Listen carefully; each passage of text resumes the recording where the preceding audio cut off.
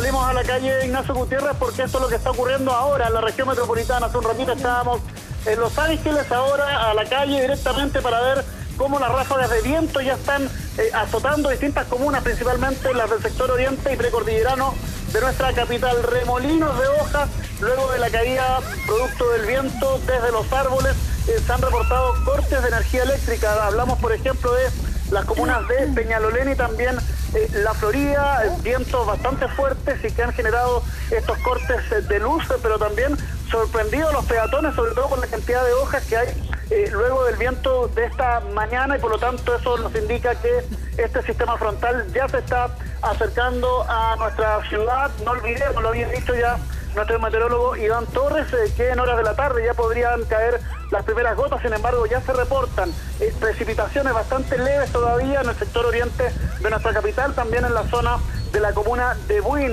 Principalmente estamos hablando de sectores eh, más cercanos a la cordillera de los Andes, específicamente La Florida, Puente Alto, Macul, también Peñalolén, La Reina, Las Condes. Ya en el sector eh, de los Barnechea, en el sector de Caminos Farellones también eh, fuertes vientos y que las cámaras han captado, como por ejemplo esa vecina ahí del sector de la Florida que muestra cómo el viento levantó, por ejemplo, uno de los toldos que tenía y cómo se han movido los cables del tendido eléctrico, lo que ha generado este corte de energía en algunos sectores de nuestra capital.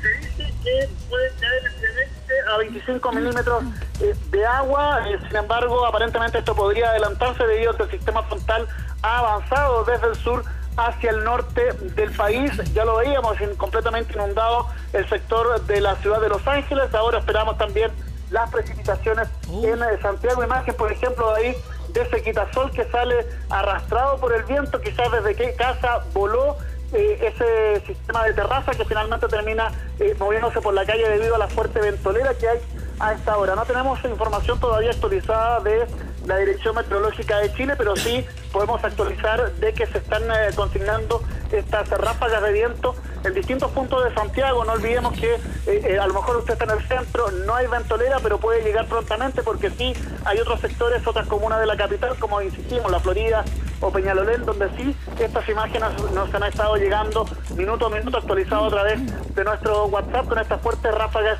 de vientos en Santiago que adelantan, atención, adelantan lo que va a ser la caída de agua a partir de esta tarde noche en la región metropolitana y la sorpresa ahí de los peatones con este remolino de hojas, viento, tierra que finalmente se levantó no solamente en Providencia, sino que también en otros puntos de la capital. Oye, sí, impresionante cómo se ve el viento y como con unos verdaderos remolinos, como dice Cristian Herren.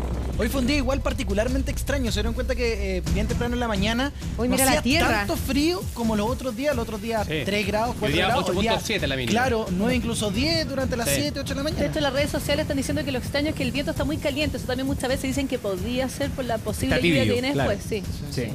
Les doy Oye. otro dato también, eh, información eh, ya actualizada por el Twitter del propio alcalde de Las Condes. Al menos 15, 15 árboles se han caído en Las Condes. 15 Otros 3 a 4 árboles han caído también en la comuna de Ñuñoa, específicamente, por ejemplo, en calle eh, Loreley. Por lo tanto, hay una situación compleja. Ustedes ven que las cámaras de la Unidad Operativa de Control de Tránsito también se están moviendo en distintos puntos de Santiago para poder entregar imágenes de eh, esta ventolera bastante extraña porque eh, una cosa era la lluvia y otra cosa era enfrentarnos a ráfagas de viento que han levantado incluso eh, latones, que han arrastrado eh, estos quitasoles que estaban en las terrazas porque se nos viene eh, la precipitación ya, quizás la primera precipitación intensa del otoño, llegando también acercándonos cada vez al invierno. Cielos completamente nublados en Santiago con eh, ya una temperatura un poco cálida. No olvidemos que cuando ya se acerca la lluvia, eh, la temperatura es un poco más cálida. El viento no es un viento helado ni frío, sino que más bien es un viento cálido, por lo tanto se podría incluso adelantar este sistema frontal. La lluvia que se nos viene eh, con polvo también en suspensión. No olvidemos que incluso hoy día hay una alerta mm, ambiental producto de la contaminación, viento Sí. que obviamente va a ayudar. Vean esa imagen, eh, Mari, eh, Nacho Sí. Cristiano, tomada desde las alturas. Este es el sector también precordillerano. Desde un edificio se toma cómo se levantan las hojas, cómo se levanta el polvo y se han generado estas especies de remolinos. La cordillera se puede ver al fondo eh, que ya está cayendo nieve también eh, a gran altura, lo que eh, indica también de, de esta situación ya del sistema frontal en los próximos minutos, yo diría incluso, porque ya se nos confirman a través de nuestros equipos en terreno de que la lluvia en algunos sectores se está dando, principalmente algunas gotas que caen en Peñalolén, La Reina y también en la mañana muy temprano estaba cayendo agua en Buin. Sí, no, eh, las imágenes son bien increíbles en vivo y en directo desde distintas partes de nuestra capital. ¿Hay una noción, Cristian Gerren, más o menos de la velocidad del viento?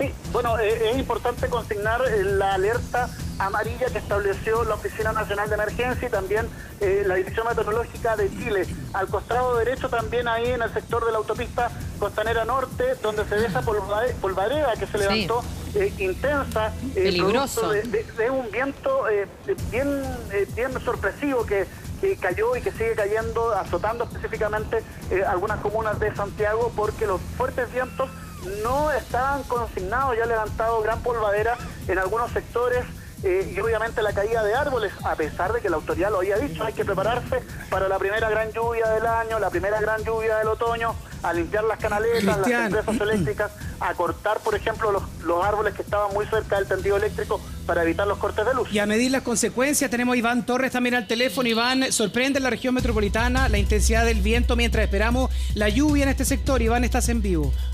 Sí, ¿qué tal? Efectivamente es un viento sorpresivo, que es un viento subsidente, eso implica que viene desde la cordillera hacia los valles, ya, y por otra parte esto mismo hace que los montos de precipitación en el valle, en el centro de Santiago, bajen un poco la precordillera.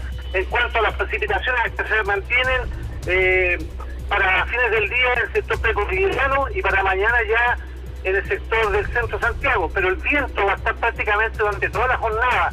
Es un viento que baje la cordillera, que es un viento carabático, así se llama, y obviamente eh, impide que llueva solamente que gotee, porque hay nubes mamatus, pero el viento va a estar presente el día de hoy, gran parte del día con rayas que puede llegar hasta los 40, máximo 50 kilómetros por hora, que ha traído como consecuencia la caída de algunos árboles añosos y también de muchas hojas que andan sueltas eh, justamente producto de, de la caída de las hojas de los árboles. Sí, por lo mismo ya tenemos cortes de luz también en la capital por la caída de estos árboles, pero llaman a la atención, Iván, y nosotros no estamos tan acostumbrados a este viento muy fuerte con tierra. Me imagino que hay mucho riesgo respecto a la gente, por ejemplo, que va manejando en este momento. Sí, ahí es, efectivamente el viento es un viento que, que tiene fuerza que se llama viento rachado, ¿ya?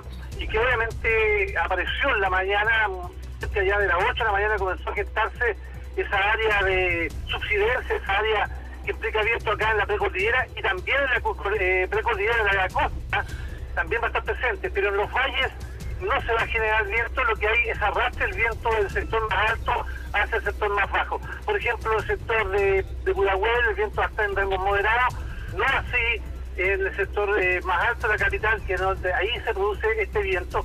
Insisto, va a estar presente prácticamente durante toda la, toda la jornada, impidiendo que la lluvia se desarrolle. Por el contrario, van a caer gotas y goterones y nada más que eso. Claro, pero ¿cuál es el llamado al- a, los santiaguinos que están viviendo este viento? ¿Cuáles son las precauciones, Iván? La, la precaución obviamente eh, radica principalmente en los árboles que son muy añosos ya y que están muy viejos, uno los puede identificar claramente ahora que ya no tienen hoja, hay que tener precaución, porque esos son los que se están cayendo en algunos sectores. También si es posible cortar las ramas que ya están secas, aún es tiempo que la municipalidad lo hagan, porque esos son el potencial peligro que tenemos tanto para las personas como incluso para la parte eléctrica. Hay varios sectores sin, sin electricidad, hay varios semáforos que no están funcionando en la capital y por lo tanto hay que tener mucha precaución justamente por este hecho. Iván, en este momento hay 13.4 grados, es la temperatura actual. ¿Es normal esta temperatura en la previa de una lluvia o no? Esperamos una máxima de 17, así que vamos bastante bien en cuanto a temperatura. Si lo único que va a cambiar acá son dos cosas fundamentales. Una es el, el- viento, que se está generando la parte más alta, y lo otro es que la precipitación en los valles tal vez no lleguemos a los 20 milímetros del día 20, sino que sea un poco menos. Pero se mantienen los rangos altos todavía en el sector de la petrolillera. Es lo único que puede variar, porque este viento lo que hace en el fondo es reforzar la alta presión impidiendo que se generen movimientos verticales que ayudan a las nubes en los sectores de los valles, no así en el sector más alto de la capital. Claro, usted decía en la mañana, Iván, y estábamos contentos que este viento ayudaba incluso más que la lluvia eh, para que se vaya la contaminación, pero me imagino que el escenario que estamos viendo aumenta la contaminación.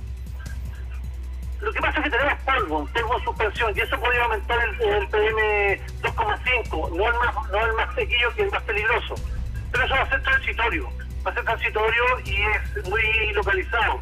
Yo creo que en términos generales, igual la contaminación va a mejorar el día de hoy respecto a lo que pasó ayer, en que tuvimos alguna estación de emergencia. Hoy, si vemos los análisis, ya deben estar, la mayoría de ellas están en un rango regular. Por lo tanto, las condiciones van mejorando el transcurso de las horas. Iván, ¿no es raro ver que, eh, que exista tanto viento en las zonas precordilleranas como nos mandaban la información en Twitter? Es raro este viento con componente este, para decir que baje la cordillera hacia los valles, no es muy frecuente en los sistemas frontales. Iván, estaba leyendo en redes sociales mucha gente un tanto asustada porque no sabían qué hacer, si cerrar o no cerrar las ventanas de sus departamentos, casas, porque dicen que este viento está ingresando con mucha tierra. ¿Eso es contaminación? Eh, ¿De qué manera uno puede protegerse frente a algo tan inusual como lo que está ocurriendo ahora? Claro, hay mucha tierra porque como está el terreno muy seco, obviamente, y, y estamos hablando de que los niveles medios bajos, ya técnicamente estamos hablando de los 1500 metros de altitud, que son 1800, son 850 hectopascales, ahí se está generando un viento que está llegando hasta los 60 kilómetros por hora. 70. Son 30 nudos. Claro. Y hacia abajo, o sea, hacia la superficie, en el valle donde estamos nosotros viviendo, Sí. eh, baja un poco la intensidad.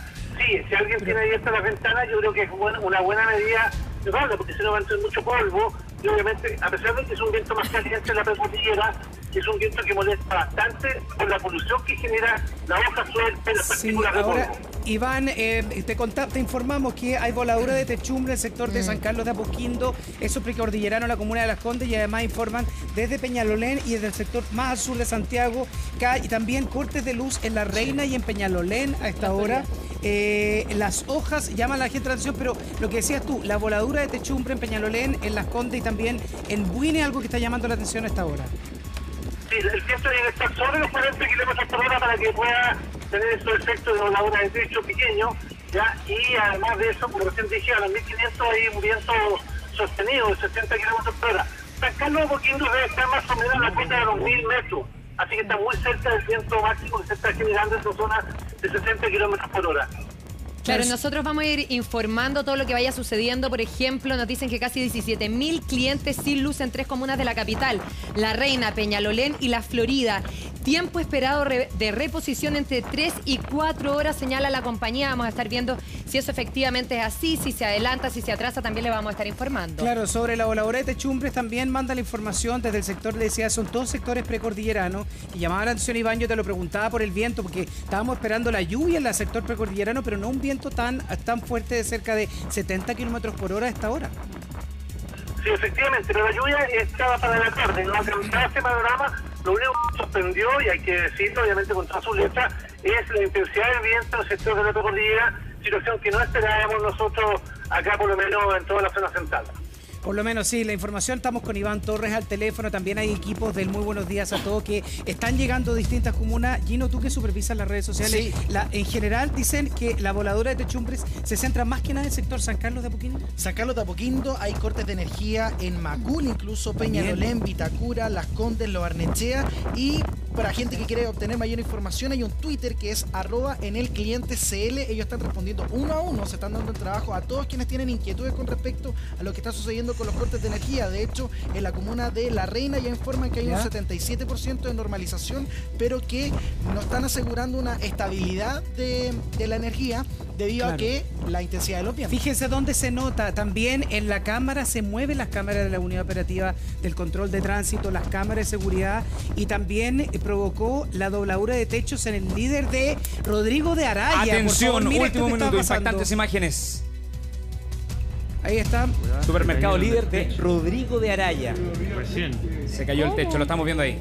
Se cayó el techo del supermercado. Vamos a repetir Estamos- las imágenes nuevamente. Sí, son imágenes que nos llegan por redes sociales. La vamos a ver en este segundo. Esa es la intensi- lo que grafica el video es la intensidad del viento que no se estaba esperando Ahí hasta está. ahora. Exactamente, Rodrigo de Araya, la voladura del techo de En este supermercado líder donde entra toda la tierra, podría haber sido muy peligroso. Y también en San Carlos de Apoquindo, como tú bien decías, Ignacio, voladura de techos de algunas casas. La precaución siempre que nos dice Iván es que cuando se vuelan los techos no hay que empezar a arreglarlos en ese momento. Tiene que parar los vientos fuertes y huracanados para poder hacerlo. Claro, sí, ahora no estamos